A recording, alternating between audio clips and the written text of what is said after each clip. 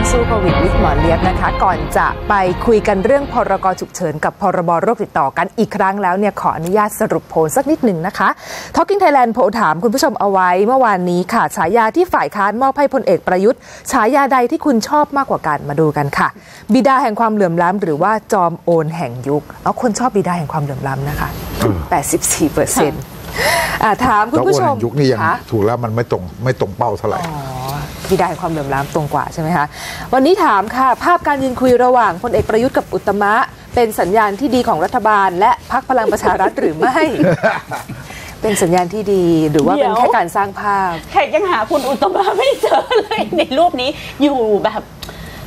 หลังพุ่มไม้อะค่ะ มันมุมผู้สื่อข่าวมุมค่ะผู้สื่อข่าวใช่ไหมคะค่ะอะเราไปโหวตกันดูนะคะ แสดงความคิดเห็นกันดูค่ะ มากันที่เรื่องโควิดค่ะ วันนี้เช่นเคยค่ะ คุยกับนายแพทย์สุรพงศ์สืบวงลีนะคะ สวัสดีคุณหมอสวัสดีครับะสวัสดีสควัรัสดีบค่ะคุยกันอีกครั้งเรื่องพรกฉุกเฉินกับพรบโรคติดต่อย้ำแล้วย้ำอีกมันใช้แทนกันได้จริงๆใช่ไหม คุยจนเบื่อเลยนะครับจนกระทั่งเบื่อตัวเองเหมือนกันว่าไม่รู้วันวันๆจะคุยอะไรอีกแล้วค่ะเพราะว่าเราคุยเรื่องนี้กันมาแล้วค่ะนะครับ คือผมก็ไม่เข้าใจว่าเข้าใจเป็นท่านรองนายกวิษณุใช่เป็นคนบอกว่าเนี่ยพรกฉุกเฉินอาจจะยังต้องมีต่อไป เพราะว่าเรื่องของการประสานงานของทางเจ้าหน้าที่ทหารตำรวจกับทางฝ่ายสาธารณสุขยังต้องมีการประสานงานกันต่อ ซึ่งผมไม่เข้าใจว่าธรรมดาการประสานงานเหล่านี้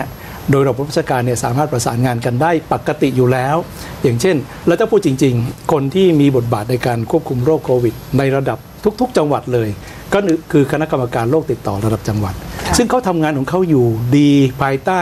พระบัญญัติโรคติดต่อโดยที่ไม่ต้องมีพรกฉุกเฉินด้วยซ้ำไปงั้นคำถามว่าแล้วพรกฉุกเฉินมีอะไรที่พรบโรคติดต่อทำไม่ได้ สรุปทั้งสั้นคือ 3 อย่างคือ 1. ก็คือดึงอำนาจ จากรัฐมนตรีต่างๆ มาไว้ที่สบคแล้วให้ปลัดกระทรวงเนี่ยเป็นคนบริหารจัดการนะครับ อันที่ 2 ก็คือออกเคอร์ฟิวให้มันมีเคอร์ฟิวตอนนี้ก็คือ5้าทุ่มถึงตีสามใช่ไหมฮะ อันที่ 3 คือไม่ต้องรับผิดชอบอะไรใดๆทั้งสิ้น ถ้าเกิดมีปัญหามีความผิดอะไรต่างๆเนี้ยก็ไม่ต้องรับผิดชอบค่ะถามว่าทั้ง 3 เรื่องเนี้ยเกี่ยวข้องกับการควบคุมโรคไหมไม่ จริงๆรองนายกวิษณุเป็นรองนายกรัฐมนตรีฝ่ายกฎหมายที่ครัพูบดเรื่องกฎหมายมาตลอด เรื่องแค่นี้ไม่น่าจะไม่น่าจะต้องรู้สิออกมาเปรียบเทียบอะไรอย่างนี้ก็นะเพราะเรื่องแค่นี้ไงถึงต้องให้วิษณุไงเออไม่งั้นมันจะไปได้ละทดทดทดทดกันไปนะมันต้องวิษณุอยู่แล้วครับเพราะว่าคือที่เราสามารถจะคุมโรคมาถึงวันนี้ได้เนี่ยเพราะว่าก็คือบทบาทของคณะกรรมการโรคค่ะติดต่อทั้งระดับประเทศ ทั้งระดับจังหวัด ซึ่ง ก็มีคณะกรรมการซึ่งก็ทำหน้าที่มาได้ต่อเนื่อง เรื่องของการป้องกันไม่ให้แบบเอ่อเที่ยวบินมาจากต่างประเทศมาในประเทศไทยก็สามารถตามพรบเดินอากาศค่ะก็ไม่ต้องอาศัยพรกฉุกเฉินฉะนั้นการจะเปิดโรงเรียนการจะเปิดสนามบินมันก็ไม่ได้มีปัญหาที่จะต้องให้พรกฉุกเฉินเข้าไปยุ่งอยู่แล้ว ไม่จำเป็นเลย คือผมว่าจริง ๆ แล้วมันมันหมายถึงว่า คนคนจะมองว่าอ้าวคืนอำนาจไปให้คุณอนุทินเหรอ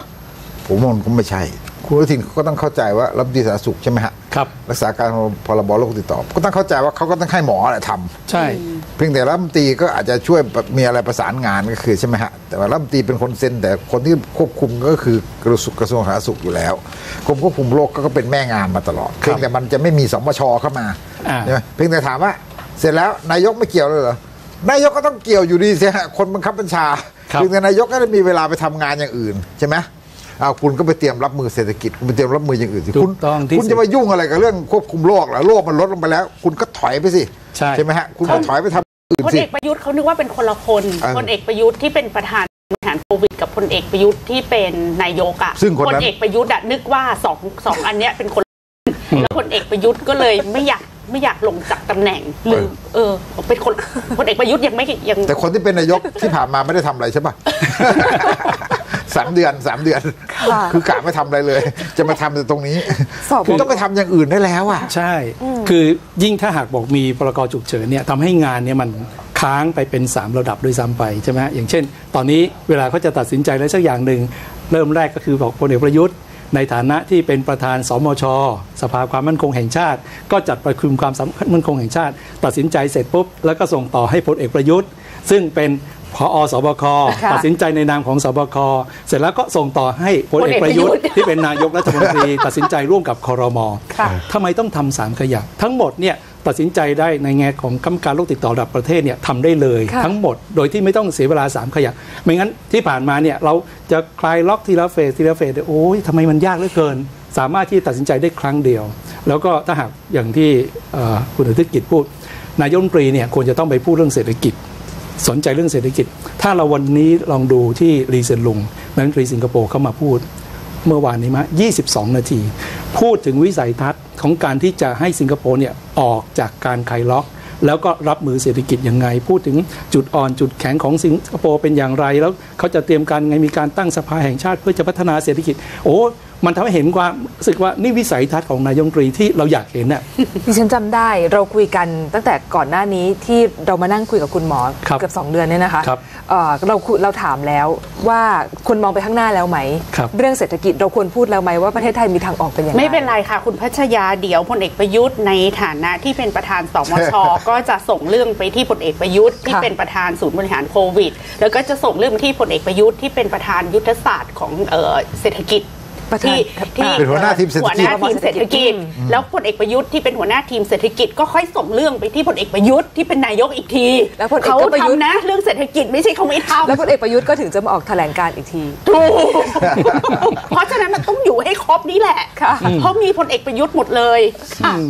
ค่ะคุณหมอแล้วทีนี้ทำอย่างเดียวเลยวันนี้เมื่อสักครู่ก่อนคุณหมอเข้าที่เราคุยกันเรื่องสบคเขาจะ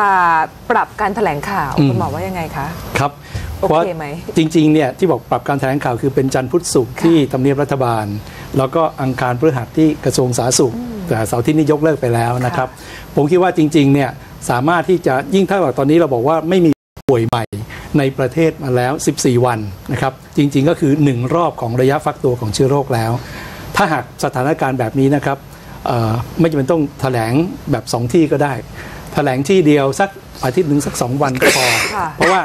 ก็คงไม่มีอะไรแถลงอยู่แล้วแหละฮะเพราะว่าวันนี้แต่ละครั้งที่แถลงก็คือในประเทศแถลงแป๊บเดียว แล้วก็ไปเป็นรายงานของสถิติในต่างประเทศ แล้วก็ข่าวสารต่างๆ นี้ซึ่งผมว่าประชาชนสามารถหาอ่านเองได้ ตรงนั้นไม่ได้เป็นเรื่องที่จำเป็นอย่างยิ่งนะครับผมว่าเอาแบบเรื่องเศรษฐกิจดีกว่า ถ้าหากอยากจะแถลงทุก ๆ วันเรื่องเศรษฐกิจเนี่ยผมว่าอันนี้เป็นเรื่องที่อยากจะส่งเสริมเลยว่าสบคแม้แต่จะเป็น พลเอกทวีสินหรือนายแพทย์ทวีสินนี่นะครับ คือแถลงเรื่องเศรษฐกิจว่ารัฐบาลตอนนี้มีนโยบายอะไรจะ รองรับเรื่องเศรษฐกิจหลังโควิดบ้างเพราะผมอยากเห็นในนี้มากเลย คุณใช่คุณใช่หมออย่าเปิดช่อง เดี๋ยวเขาจะเปลี่ยนจากศูนย์บริหารโควิดเฉยๆ เป็นศูนย์บริหารโควิด และเศรษฐกิจของประเทศหลังโควิด แล้วศูนย์เขาก็จะอยู่ต่อไปเรื่อยๆแล้วเดี๋ยวเขาก็จะมาพูดเรื่องเศรษฐกิจแบบเขาอะโควิดพูดเรื่องเศรษฐกิจเศรษฐกิจแบบเขาอะเออ ซึ่งมันไม่ได้เป็นมรรคเป็นผลกับเศรษฐกิจแบบที่เราอยากฟัง แล้วที่พี่ถึกบอกว่าให้พลเอกประยุทธ์อะกลับไปโฟกัสเรื่องเศรษฐกิจแขกไม่แน่ใจว่า มันจะดีเหรอ ก็อาจจะก็จะเละมันหจะรือดีจะดีก็จะรู้กันไปไงแต่ทีนี้คือหมายถึงว่าจริง ๆ แล้วเนี่ยผมว่ามันสะท้อนให้เห็นว่าสบคก็รู้แล้วแหละใช่ไหมมันไม่มีอะไรอะใช่ไหมจริง ๆ คุณบอกแค่เอ่อเปิดขึ้นขึ้นเว็บไซต์ ข่าวกรมควบคุมโรควันนี้กี่คนจบครับ มันไม่ต้องมีอะไรแล้ว วันนี้กี่คนค่ะวันนี้กี่คน มันไม่ต้องถามไม่ต้องอะไรแล้ว ความรู้เรื่องโควิดทั้งหลายเนี่ย ประชาชนก็รู้กันหมดแล้วแต่ไม่รู้จะเอาอะไรมาพูด ไม่รู้ ไม่รู้จะมาอธิบายอะไรแล้วประชาชนก็รู้เกือบเกือบเท่าเท่ากับหมอทวีสินละใช่ไหมฮะตอนเนี้ยไม่ได้มีใครรู้น้อยกว่ากันละคือคือจริงๆเนี่ยอย่างที่ฟังคือ แต่ละวันไม่รู้จะแถลงอะไรนะคือจริง ๆ ตอนนี้ผมแต่ละวันที่ตอนนี้มานั่งออกคุยกับพวกเราเนี่ยก็ไม่รู้จะพูดอะไรแล้ว คือเลยบอกกับตัวเองว่า ถึงเวลาแล้วอาจจะต้องลาจอได้แล้วล่ะ คือ จะต้องแบบประเภทเอ่อให้เรื่องอื่น ๆ ซึ่งผมคิดว่าสำคัญกว่าเรื่องเศรษฐกิจเรื่องประชาธิปไตยอะไรต่างๆเหล่านี้คงจะต้องมาในนเรื่องนี้มากขึ้น เรื่องโควิดผมว่ามันน่าจะเบาลงไปได้ก็คือแล้วคุณหมอจะจะมานั่งคุยเรื่องโควิดกับเราอีกวันพรุ่งพรุ่งนี้พอีรุ่กงหนี้นึ่งวัอีนกวันหนึ่งเพราะฉะนั้นแต่จสิ่ริง ๆ แล้วก็คือตอนนี้เราก็จะเลิกเลิกคุยเรื่องโควิดเรามาคุยเรื่องการเมืองต่อใช่ใช่เราเหลือเวลาเนี่ยเราคุยเรื่องการเมืองหนึ่ง คุณหมอพูดตลอดเลยพรกฉุกเฉินไม่จำเป็นแล้ว แล้วรัฐบาลจะต้องมีคำตอบนะคะ แล้วพลเอกเอ้ยไม่ใช่พลเอกจะเรียกพลเอกวิษณุเองไหมจะเรียกพลเอกวิษณุคุณวิษณุก็เลิกเลิกหลอกประชาชนได้แล้วว่า ถ้าไม่มีพรกฉุกเฉินน่ะมันจะจัดการเรื่องโควิดไม่ได้หนึ่งตอนนี้เราไม่มีโควิดให้จัดการแล้วด้วยซ้ำไปครับใช่ไหมคะเพราะทุกอย่างมันสงบลงแบบชนิดที่ว่าอยู่นิ่งแล้วอะนิ่งมาก ๆ อยู่ในเฉพาะที่เป็นสเต t คว a รันทีนเท่านั้นเอง เพราะฉะนั้นเลิกหลอกประชาชนว่าจำเป็นต้องใช้พรกฉุกเฉินในการบริหารโควิด และเออยังไงดีล่ะ คือเลิกเลิกเลิกโกหกเราได้แล้ว แล้วก็หลังจากนี้ก็คือเข้าสู่ภาวะปกติกันสักที แล้วประชาชนอะใครคิดว่าประชาชนควรจะแสดงความกล้าหาญครับในการที่เอ่อออกมาใช้ชีวิต แล้วก็ใช่ครับผู้ประกอบการทั้งหลายนะคะ ควรจะส่งเสียงช่วยกันใช่ส่งเสียงมากกว่านี้เพื่อเปิดทางทำมาหากินให้ตัวเอง แขกคิดว่า อย่างเรื่องเบียร์อืมทำไมเขาจะต้องโดนปรับด้วยสำหรับการโฆษณาขายเบียร์ออนไลน์ ร้านอาหารควรจะเรียกร้องว่าขายสุราและเครื่องดื่มแอลกอฮอล์ในร้านอาหารได้แล้ว เพราะเรากินอาหารในร้านได้ แล้วการที่เรากินอาหารเฉยๆกับการที่เรากินอาหารพร้อมสุราเนี่ย มันส่งผลต่อการติดเชื้อโควิดต่างกันเท่าไหร่กันเชียวอืมอันนี้ก็ต้องมีคำอธิบายในเชิงการแพทย์มาให้ประชาชน ที่เจ้าของร้านอาหารทั้งหลายอะค่ะคนทำร้านอาหารเนี่ยกำไรมาจากเครื่องดื่ม และโดยครับเฉพาะอย่างยิ่งเครื่องดื่มที่เป็นเครื่องดื่มแอลกอฮอล์นะคะ แล้วคนเขาไม่ได้กินจนตายนะ ส่วนมากเวลาเราไปกินอาหารอิตาลี กินอาหารฝรั่งเศสมันก็ต้องมีไวน์แก้วหนึ่งสองแก้ว แล้วอยู่ๆตอนเนี้ยคนก็ไม่รู้จะไปนั่งกินอาหารอิตาลีทำไม ถ้าไปกินเราไม่ได้ไม่ได้ปลดปล่อย คือไม่ได้แบบ chill enjoy กินไวน์แก้วหนึ่งก็ผัดเส้นอะไรก็ได้กินอยู่ที่บ้านก็ได้ อันเนี้ยธุรกิจร้านอาหารจะเจ๊งคุณหมอมองยังไงคะว่า ในแง่ของสมาคมวิชาชีพใช่ต่าง ๆ สมาคมของผู้ประกอบการทั้งหลายเนี่ยครับผู้ประกอบ ธุรกิจขายเหล้าเบียร์ร้านอาหารผับบาร์ค่ะ ควรจะปรากฏตัวได้แล้วนะค่ะ ครับผมเห็นด้วยว่าคือวันเนี้ยทางเอกชน ซึ่งผมว่าได้รับผลกระทบมากมายนะฮะ ตั้งแต่ว่าประเภทเอ่อเปิดร้านแล้วก็คนก็ยังไม่มา หรือบางส่วนก็ปิดร้านไปแล้วด้วยซ้ำไป แล้วถ้าหากยังปล่อยสถานการณ์อย่างนี้ คืออย่างเมื่อสักครู่นี้ที่พูดว่าชายหาดก็ห้ามทำอย่างนู้นทำอย่างนี้ ถามว่าแล้วใครอยากจะไปเที่ยวชายหาดแล้วคือไปแล้วโอ้โหเกรงกันหมดเลยค่ะคือไปหาซื้อไปนั่งเก้าอี้ผ้าใบริมชายหาดจะไปกินอาหารทะเลเผา ต้องทำตัวยังไงทำตัวยังไง คือพอคนมันลำคาญมากๆก็ไม่ไป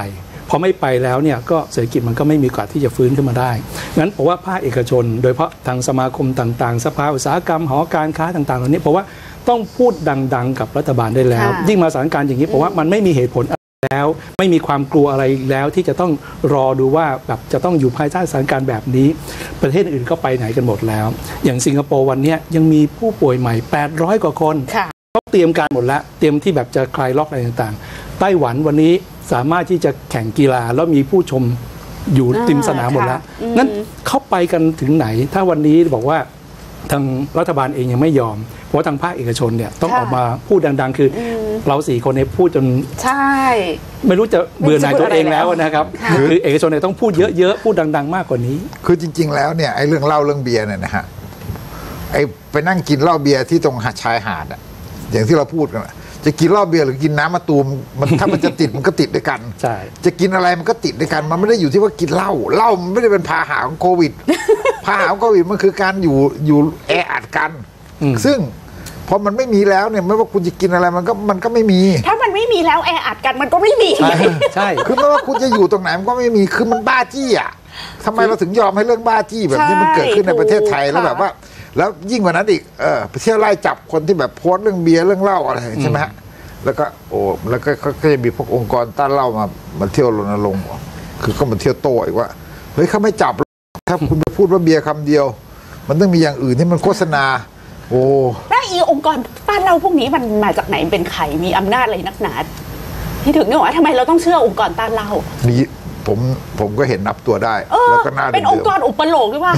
เอออยู่ๆก็ตั้งตัวขึ้นมาแบบสำคัญไม่ไม่น่ะไม่อุปโลกเขาทำโครงการขอโครงการสสมาทำ ก็ขอเงินประชาชนมาทำอะยังจะไม่รู้จักเคารพประชาชนอีก นี่ คอมเมนต์ประชาชนเนี่ยไม่ใช่คอมเมนต์ประชาชนคอมเมนต์ผู้ชมเราอะบอกว่าร้านค้าทั้งหลายออกมาพูดได้แล้วค่ะ ลูกค้าพร้อมอ่าลูกค้าพร้อม คือถ้ามันไม่มีเรื่องพวกนี้มันไม่มีความเชื่อมั่นใช่ใช่ไหมคุณหมฮะอใช่ครับแง่ของคือารมณ์อะอย่างพอคนแออัดหน่อย ก็บอกว่าโอ้ระวังนะเดี๋ยวจะระบาดเห็นไหมแออัดที่บางแสนผ่านมาเจ็ดค่ะวันเกิดอะไรขึ้นแออัดที่ BTS ผ่านมาตั้งเกือบ 20 กว่าวันแล้วเกิดอะไรขึ้น ไม่มีค่ะอย่างที่คุณแขกพูดถูกต้องคือว่าถึงแออัด แต่ไม่มีใครมีเชื้อ แล้วมันจะปล่อยเชื้อออกมาได้ยังไง มันก็ก็อยู่กันอย่างเงี้ยมันสามารถที่จะใช้ชีวิตปกติได้แล้ผวมนี่เบื่อมากคือไม่ใช่ภาคธุรกิจสื่อด้วยค่ะสื่อไทยเนี่ยไม่ได้มีความรู้เลย โดยเฉพาะประเภทแบบพวกวิทยุทีวีอะไรทั้งหลายสากลเอ่อที่ประเภทแบบช่องสช่องที่เขามีลูกค้าเยอะๆอะนะเขาก็จะเปิดแบบเนี้ยคือกลัวไม่ไม่เป็นเด็กดีเดี๋ยวคนด่าอืมใช่ต้องพยายามทำตัวให้เป็นเด็กดียังไงเออคะช่วยกันเตือนอะไรเชื่เงี้อยนะคะมากอย่างนั้นนะคะเชื่อเออมากซึ่ง จริง ๆ แล้วเนี่ยความรู้เราก็มี มันก็รู้กันอยู่ว่า อะไรมันติดอะไรมันไม่ติดใช่ไหมฮะอย่างเช่น แล้วคุณก็ควรจะดูสถานการณ์ที่คุณหมอว่าพอคนไปเที่ยวหน่อยเบรก